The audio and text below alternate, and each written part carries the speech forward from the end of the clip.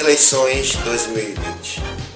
Alguns candidatos estão concorrendo à vaga de vereador, dos deles são representantes de bandas e fanfarras. Vamos agora fazer algumas perguntas para eles e, e ver o que, é que eles têm para dizer a você. Candidato, qual a sua proposta para as bandas e fanfarras, aquela que faz parte também da sua cidade? E se existem projetos para políticas públicas voltadas para as bandas nas escolas? Meu nome é Jorge Bartolomeu, Jorge da Banda. Eu sou regente da Banda Marcial Integração há 36 anos aqui em Simão Filho. Como candidato a vereador, pretendo agora nessa esfera melhorar as condições né, para um trabalho que nós já temos, um projeto que nós já temos, que é a Banda Marcial Integração, que conseguiu publicar esse trabalho para o mundo. Mas aqui no município eu pretendo é, lançar esses projetos, esse projeto, pretendemos né, lançar para os quatro cantos da cidade como vereador levar para os jovens que mais precisa, da camada menos favorecida da sociedade. Isso em grande proporção. Então, como vereador, eu consigo fazer isso, porque já provei que como um simples instrutor de banda marcial, fiz pela minha cidade. Bom, em termos de bandas marciais e fanfarras, além de outros segmentos, o que eu pretendo é que cada escola, pelo menos em cada distrito da cidade tenha uma banda marcial. Uma cidade sem banda, uma comunidade sem banda, uma cidade, é uma banda de cidade. Então nós precisamos de uma banda, pelo menos uma em cada comunidade. Simão Chilo, por exemplo, tem 10 polos de escolas. Distribuição é distribuída em 10 polos. Você já imaginou o que é cada polo nós ter, a gente ter uma banda marcial, uma banda de música? além de outras artes que podemos desenvolver. Então, é isso que o vereador Jorge Bartolomeu, chegando lá, com sua comunidade, com seu coletivo, vai construir para a nossa cidade. Pode ter certeza que isso é possível. E eu já provei isso através da nossa instituição, Sociedade Cultural Fanfarra Simochilense, que existe há 36 anos no nosso município educação, cultura e social. São prioridades na construção de projetos onde sempre cobramos em uma gestão. Que você pretende fazer pela cultura de sua cidade, senhor vereador, caso o senhor ganhe a eleição? Na esfera estadual, a nossa banda marcial já é ponto de cultura.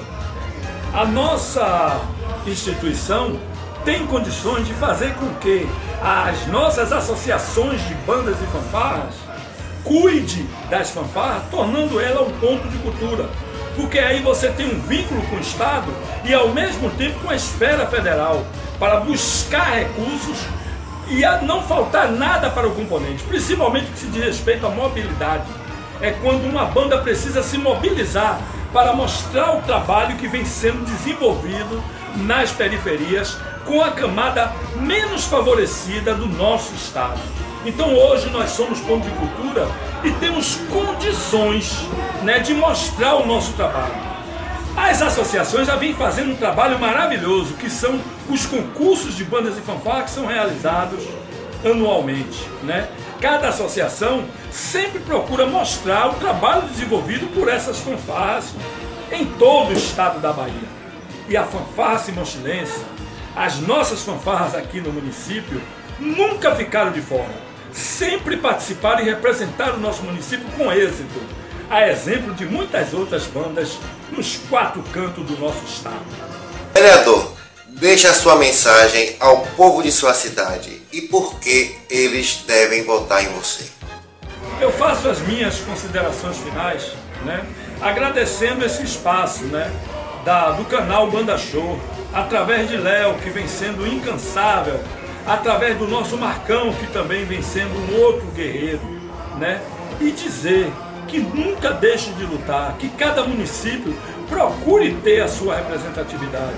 Não vamos ter nojo da política. Política significa poder. E a gente chegando lá, a gente pode mais do que o que já fazemos sem o poder, né? Às vezes sem o poder. Graças ao apoio de muitos prefeitos que existem e que amam a nossa arte, a gente vem desenvolvendo a cultura. Mas nada melhor que você, regente, tome consciência de que um dia você tem que representar o coletivo. E é isso que eu estou fazendo em Simonchiro.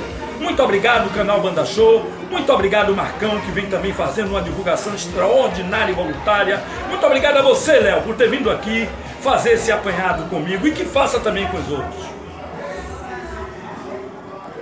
Este ano você vai escolher dois candidatos, um para prefeito e outro para vereador. O primeiro voto vai para o vereador. Você vai digitar cinco números, conferir se a foto que aparece na urna é a do seu candidato e apertar confirma. Em seguida, é hora de votar para prefeito. Você vai digitar dois números novamente. Confira se a foto é a do seu candidato e aperte confirma.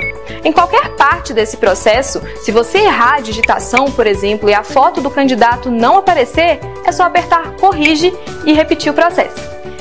Caso você queira votar em branco, aperta a tecla branco e confirma.